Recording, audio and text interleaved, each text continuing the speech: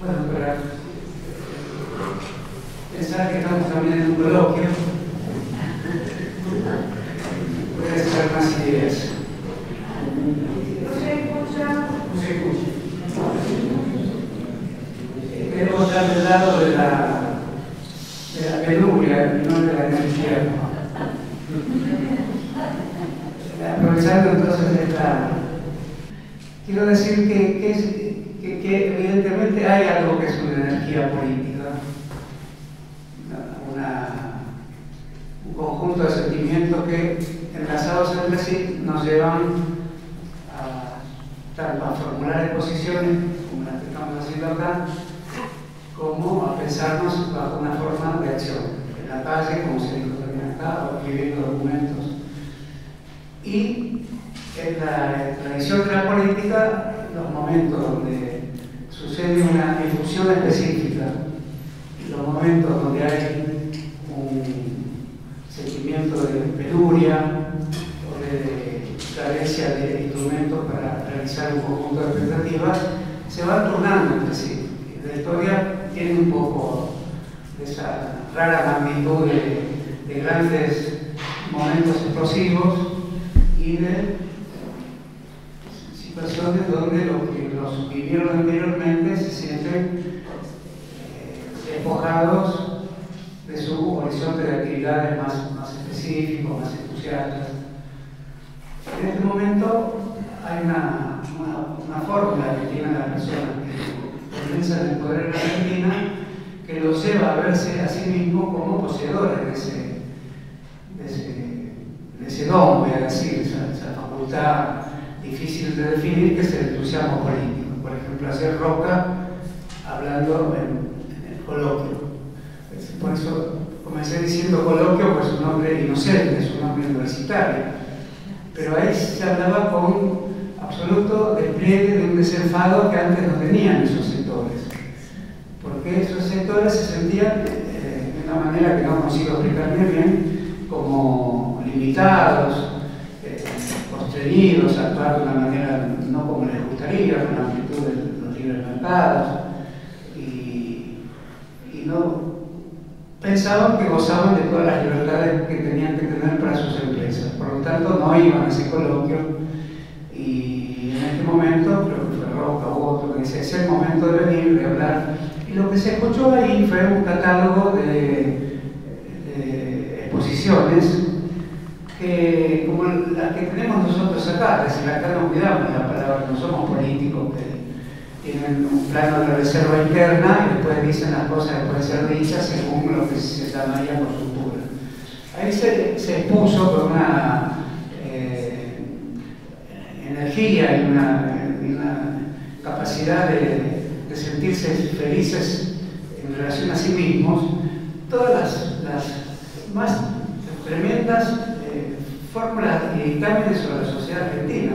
Por ejemplo, Macri llegó a decir círculo rojo, ¿qué es el círculo rojo? Antes parecía una broma, cuando se lo preguntaba se, esquivaba esa noción. Eh, es decir, es una forma que reemplaza lo que los, eh, consideran la política como un, una cierta condensación de poderes que después se van redefiniendo a sí mismos según se sientan democráticos o no, que a veces se emplean palabras como consenso, en fin.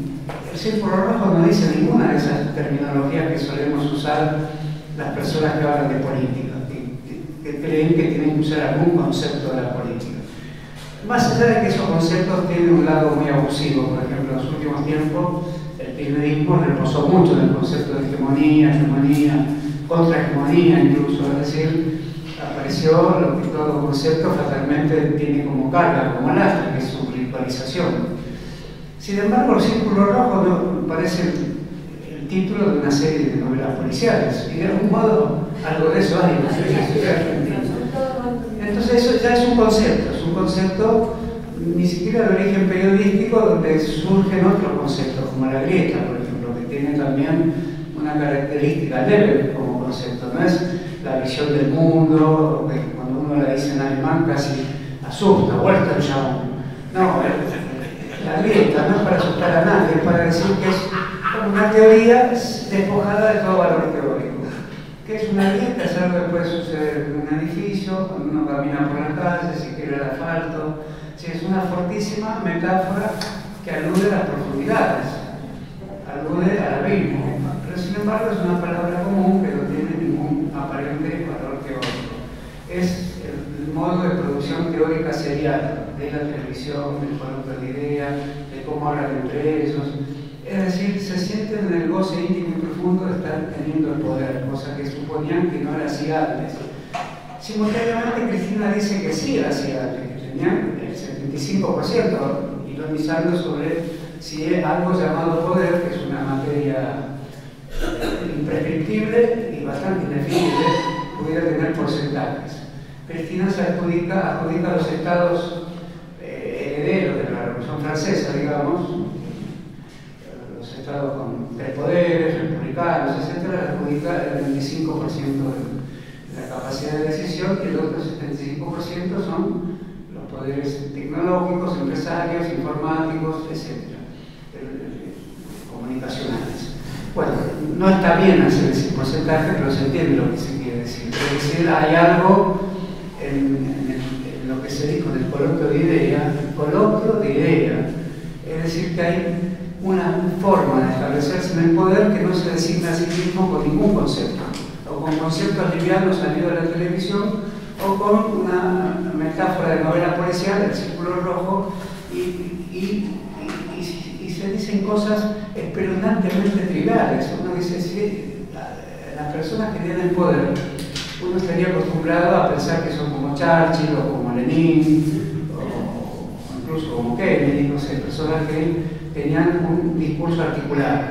Esto no es así ya. El único que parecía tener un poquito más de articulación al discurso fue Roca, el empresario de Pechín, Tenaris, etc., una de las principales empresas de Latinoamérica, que estableció unas relaciones de trabajo, educación y círculo rojo y la presencia personal de ahí, no iba porque no se podía hablar de esas cosas. No fue gran cosa lo que dijo desde el punto de vista de una clase dominante que expone sus ideas y tiene tratado. Imaginen a Mitre. Mitre para tener el poder no era solo, era más del 25%, pero se le agregaba mucho los libros que había escrito, las traducciones que había hecho y el modo en que utilizaba su oratoria. Se dirá esto no es así ahora, pero es lo contrario de aquello ahora cuando habla Cristina no es tanto lo contrario, es ese 25% de lo que sea que supone que hay percepciones sobre la vida relacionadas al poder, definiciones del poder que se pueden hacer, autoconciencia pública, capacidad ciudadana de deliberar y un tipo de deliberación que arrastra en herencia conceptos de la historia política del mundo y de Latinoamérica. Esto no es más así. Lo que dice Roca es, tomé exámenes a 5.000 personas para que entren 50 500, no sé. Todas las demás no sabían matemáticas. ¿Qué es la escuela pública? ¿Dónde va a ir a parar la escuela pública? En esas palabras está la reforma en curso de la escuela pública. El trabajo que precisamos solo lo podían hacer de 5.500. Y ahora me pregunto, ¿qué será de la vida de esos 5.000? O sea, el Círculo Rojo se permitió en las pocas reuniones, artículos que le hizo el Círculo Rojo, tener una, una eh, arrojar una pequeña lágrima al infinito las palabras de Roca, ¿qué será de esos 4.500? ¿Dónde irán a parar? Bueno, a, estas decisiones que toma el gobierno sobre los desechos humanos que vamos a hacer todos cuando triunfe este, esta manera de pensar, que también eh, la voz del jefe de gabinete se dio el lujo de decir que expulsaba de la conmemoración pública a los muertos. ¿Qué quiere decir eso? Se refería a los Vicentes, pero no importa, expulsar a los muertos de la la memoria pública tiene una gravedad que no podemos tener la dimensión exacta. En general son las tradiciones de derecha que conmemoraron el cementerio de la patria. En Francia morir Correr, Barré. En Argentina hubo, pero nunca nosotros nos fue necesario ser de las derechas, que que aceptar que tuvieron una gran literatura, para conmemorar la memoria desde luego de los muertos familiares y también de los muertos de la nación, de los muertos de las luchas sociales y políticas. Ahí hay una infinitud donde siguen compartiendo a través de nuestras propias voces en presencia. Entonces, anular eso es anular la nación. El proyecto que está en curso, yo lo llamaría el proyecto que tiene una fuerte propensión a eliminar la idea de nación, pero no como las tradiciones eh, libertarias, las tradiciones de izquierda que ven a la nación de forma opresiva. Ellos ven a la nación de una forma libertadora, una forma emancipatoria, una forma quizás de la alegría verdadera, de encontrar en las disputas por la nación el ámbito específico en que se revela el ser de la persona. Bueno, todo eso es algo que en este coloquio, que es el máximo nivel intelectual del gobierno, el repudio a la herencia, el repudio al, al linaje de la nación, el repudio a las personas que no aprendieron en la escuela, el repudio a la escuela pública, el repudio a lo que sería una articulación de trabajo, escuela, nación y democracia. Esos nexos se han perdido porque están creando otros nexos para todas esas cosas y otros nexos son la ilusión de que pueden acompañar la revolución tecnológica, que no saben definir bien tampoco. La revolución tecnológica, ¿cómo la definiríamos? La robotización, eso acaba de explicar Eduardo, entra una materia prima con un caño y sale un hombre por el otro lado del caño. Un hombre muy mecanizado, pero se parece a nosotros, a lo mejor va a una reunión de carta abierta. No sabemos cuántos, robots fabricados así hay acá. Para terminar, están en juego las, ideas de la política, que no tenemos que aceptar que se les diga viejas, que ya caducaron. Escucho, escucho a muchos compañeros que también entran en la idea de que caducó un montón de cosas porque tuvo éxito esta forma de aplanar la sociedad, que es aplanar el conocimiento, es aplanar el conocimiento de sí, es crear una homogeneidad falsa alrededor de un microondas, es decir, se, apostaron a cosas que parecían inconcebibles hace 20 años y viene Caballo a darle su historia, de algún modo la aceptan, porque cuando aplanaron toda la historia, sacaron como quien tira de un mantel todo después de comer, tira todo, todo en vez de lavar las copas, tira todo al suelo y de una, manera despectiva, sacaron todo lo que podría ser algo que supone una historia que es la de ellos también. Entonces, balbuciantemente la toman, pueden llegar a tomar a caballo, si que no piensan que hay aborto. Pues a esta altura piensan que puede ser cualquier cosa, lo de milagro Sala, piensan cualquier cosa, una impunidad total, que es lo que en general eh, la noción de impunidad en todas las naciones, cierta idea de ley la, la, contiene, la conjura, digamos. Hoy no está primero la impunidad y después hay ciertas formas de ley que se aplican por una legión de jueces obcecados y sumisos y eh, protagonistas de una gran servidumbre jurídica como nunca vio la historia del país. Entonces es un, modelo de impunidad de ser bien de todo lo que dicen respecto a cómo están gobernando si salen una noche de su casa a mirar los alas, como se dijo acá, eso es una muestra de impunidad que sin duda la historia le Porque la historia, incluso para ellos, cuando se ven totalmente despojados, se ven sus manos vacías de historia, hasta citan al, último pero como citó que también, eso también lo tenemos que ver, como eh, un modo de, un Perón que ellos interpretan. Y no, no veo en el futuro una lucha por tiene a Perón, Perón tiene como un establecimiento argentina, pero Macri continuamente cita alrededor del discurso de la productividad. Es un discurso está a la izquierda de todo lo que dice Macri, pero sin embargo es un momento económico difícil del peronismo donde se emplean regímenes de productividad. Entonces no es verdad que no precisa historia de eso. Y la que precisan es un poco la de Caballo, que es de los militares, y eso es la vestidura del uniforme militar del ministro de Patricia Burris, y precisar un poco del último Perón. Y el último Perón es el del ejercicio de la productividad en un momento que la historia fabril y tecnológica era muy diferente. ¿A qué se llama productividad hoy Macri?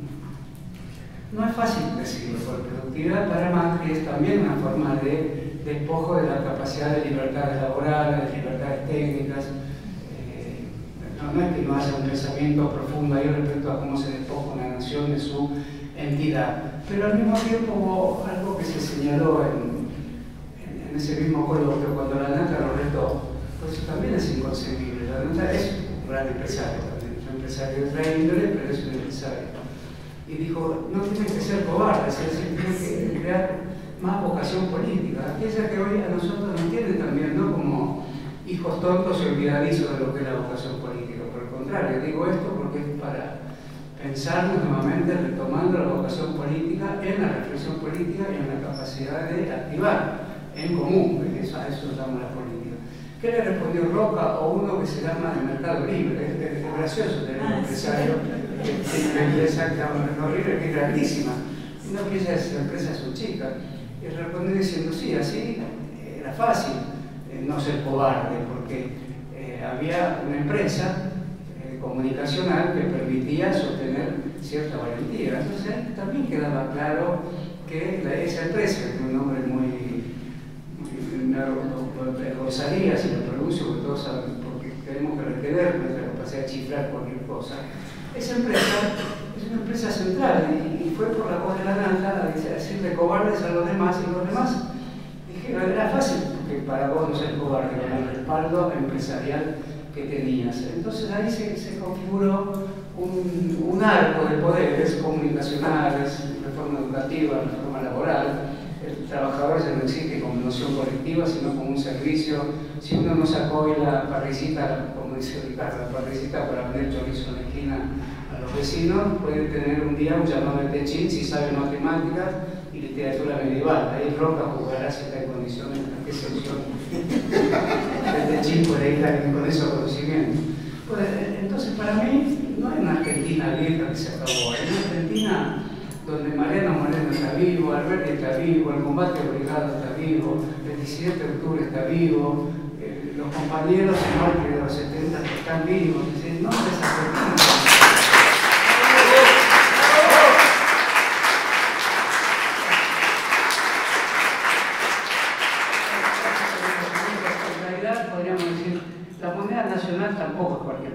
todos esos retratos son retratos insumisos de la historia nacional. Volverán a circular en nuestro vicente porque están circulando permanentemente en la sociedad argentina. Muy bien.